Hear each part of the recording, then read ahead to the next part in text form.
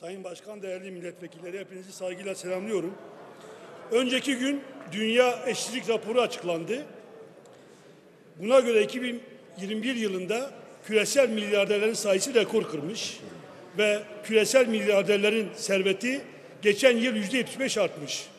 Yine bu rapora göre dünyanın en eşit bölgesi Avrupa, en eşitsiz bölgesi ise Orta Doğu ve Kuzey Afrika.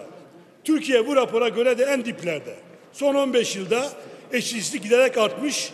Son 3 yılda da ekonomik daralma bu eşitsizlik rakamını daha da büyütmüş.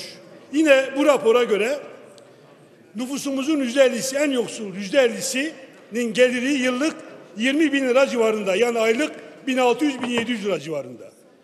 Nüfusumuzun yüzde onu yani en zenginlerin yüzde onunun geliri ise 463 bin lira. Yüzde ellinin gelirden aldığı pay yüzde on iki, yüzde onun gelirden aldığı pay yüzde elli dört. Böyle bir tablo var.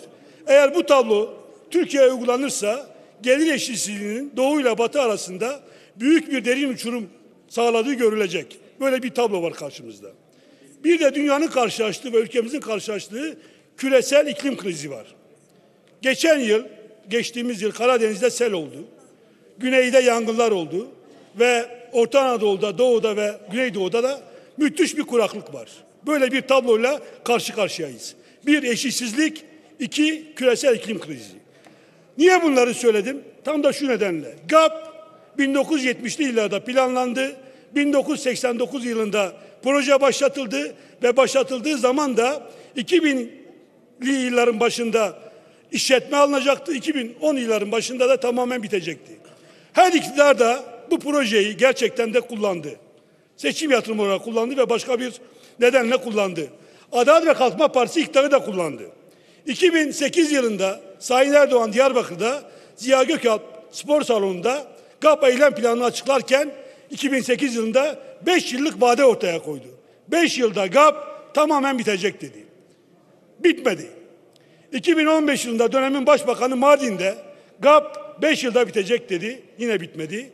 2017 yılında ise Erdoğan bu kez Urfa'da ikinci planı açıklarken GAP 3 yılda bitecek dedi. Yine bitmedi. Sene 2021. Neden bitmedi değerli dostlar? Çünkü ekseninizi değiştirdiniz. Yatırımdan ve üretimden uzaklaştınız. Çılgın projelere ve ranta dönüştünüz. İstanbul'da bir çılgın proje planlıyorsunuz. O proje İstanbul'u felakete sürükleyecek ve rant sağlayacak. Ama GAP bölgeyi felaketten kurtaracaktı. İslam sağlayacaktı. Bunlardan vazgeçtiniz. Nedeni şu. Çünkü çünkü GAP projesi size bir rant sağlamıyor. Bir rant sağlamıyor. Eğer biterse 4 milyon kişiye iş sağlanacak. 2 milyon 100, 100 bin hektar da sulamaya açılacak. Büyük bir proje. Ama yeni ihale yapamıyorsunuz. Yeni ihale yapma şansınız yok. O nedenle de ödenek aktarmıyorsunuz. Projelerinizi ranta aktarıyorsunuz. Bakın Silvan Barajı bitmedi. Eğer biterse Silvan Ovası falan hepsi hepsi sulanacak. Veya ya gerçekten gerçekten ya ya ya, ya bu Sayın ya, Aronat lütfen. gerçekten, Sayın Tabrikulu devam edin buyurun. gerçekten böyle olmaz ya. Ya, bir, ya sizi terbiye davet ediyorum ya. Terbiye gerçekten ya. Hakikaten terbiye davet ediyorum ya. Böyle bir şey yok ya. Gerçekten böyle bir şey yok ya. Hayret bir şey ya. Gerçekten böyle bir şey yok ya. Terbiye Sayın, ediyorum. Sayın ya. Aronat rica Yok böyle bir şey ya. Gerçekten yok ya. Bakın. Evet. Ranta döndünüz. Güvenlik politikalara döndünüz. Tamam mı? Hayret bir şey. Terbiye davet ediyorum ya. Böyle bir şey yok gerçekten ya. Terbiye davet ediyorum. Terbiye davet ediyorum ya. Böyle bir utanmazlık yok ya. Hakikaten yok ya. Değerli arkadaşlar, de- derdiniz ne biliyor musunuz? Bak açıklayacağım. Derdiniz ne?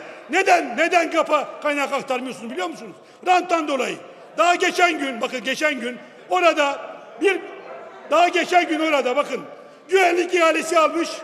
Güvenlik ihalesi almış. iki taşeronla karşılaştım. İki taşeronla. Güvenlik ihalesi almış. Sormuşlar. Bakın güvenlik ihalesi almış. Sordum onlara. Dedi ki biz güvenlik ihalesinden pay alamadık. Neden alamadınız? İhaleyi vermişsiniz 100 liraya. 40 lira teklif etmişler. 40 lira. Güvenlik yolu projesi Sayın Bakan. 40 lira. Demiş ki Tamamlayın sözlerinizi. Açalım mikrofonu. 60 lira keş para verecekler. Keş para müteahhide verecekler. Milyonlarca lira. Bakın alt taş oranlar 40 lira teklif ediyorlar. Vermiyor 32 lira. Nedeni ne?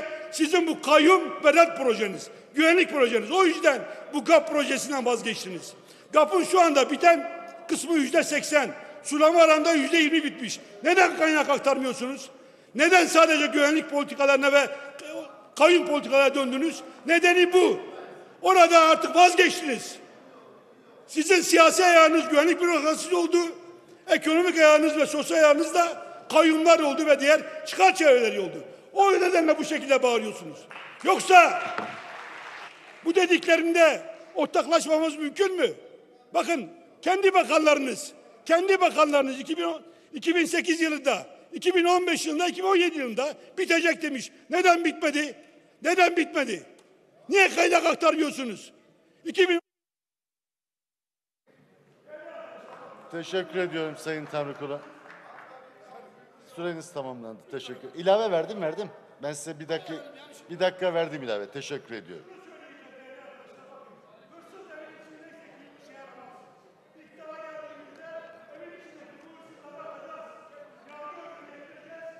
Sayın Özel herkes birbirine laf atıyor. Her laf atmada, inkitada başa çıkamayız. Sayın İsmail